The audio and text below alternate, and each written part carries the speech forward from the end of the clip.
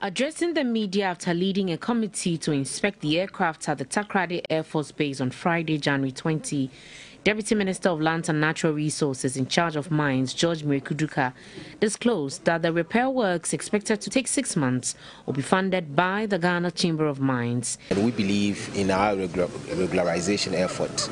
It could help in getting things done, especially um, uh, getting the Galamsey menace controlled, and that is why government is making efforts to collaborate with private partners. We are anticipating that they will take up the costs and uh, use it to monitor the activities on the field and also help in uh, checking the Galamsey canker.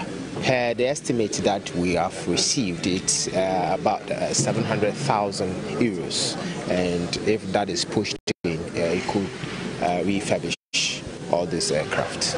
He also explained why government opted to repair the old aircraft instead of buying new ones. Uh, technically, those uh, aircraft are not going to be sent to Austria or China. They are, the uh, technicians are going to be brought in and they are going to service. And uh, as we're rightly briefed, these are people who are well trained, people who could just fix uh, some kind of uh, a new software to re-cushion and revamp all these aircraft. They are specially made and we believe it's cost effective as far as even comparing to procuring uh, drones and other Uh, uh, other equipment. The repairs will see the replacement of crashes, hard drives, outdated softwares, and engines, among others. The minister commended the Chamber of Mines for its support towards the Galamsey fight.